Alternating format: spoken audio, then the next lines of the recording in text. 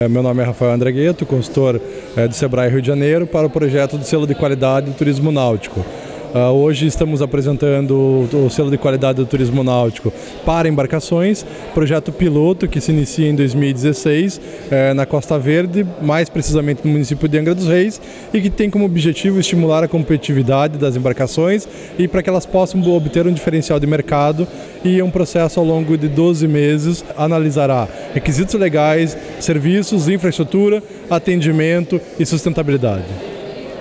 Vanessa Cohen, do Sebrae Rio de Janeiro, gestora do projeto de desenvolvimento do turismo náutico da Costa Verde.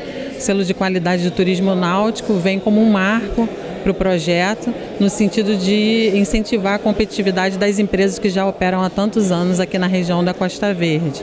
Né? Ele vem também como uma identidade né, da qualidade dos serviços é, prestados por essas embarcações que operam aqui, né, trazendo assim a visibilidade é, para uma operação é, de alta qualidade e que atendem os requisitos legais, mas também de mercado já existentes.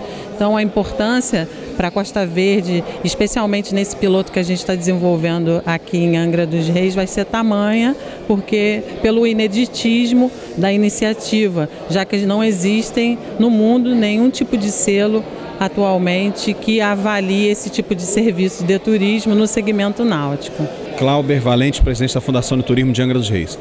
Bem, nós estamos muito otimistas e vendo com muito bons olhos a iniciativa do selo de turismo, né, do selo de qualidade para o turismo náutico em Angra dos Reis. Angra é uma das cidades que tem o maior número de embarcações registradas na, na capitania. Nosso turismo náutico é muito forte e as iniciativas que visam dar mais qualidade ao atendimento ao turista e a própria operação mais segura dessas embarcações, a gente apoia frontalmente porque isso vai qualificar o nosso turismo em todo o Brasil né, e será um modelo pioneiro para ser copiado inclusive por outras cidades. Ricardo Hermel, gerente da Marina Piratas. Bom, é, eu fiz uma apresentação falando sobre a liderança no mar, tendo como foco Brasil 1. Acredito muito no selo. Essas pessoas aqui que aqui estavam hoje acreditando no selo vai ser um diferencial de, competitivo no mercado. Angra pode vir a se tornar uma líder no turismo náutico acredito muito que bem trabalhado, com todas as dificuldades, com todas as dores, nessa nova conquista, Angra dos Reis vai ser bem sucedida. Fico aqui a minha força, o meu apoio ao selo de qualidade do turismo náutico.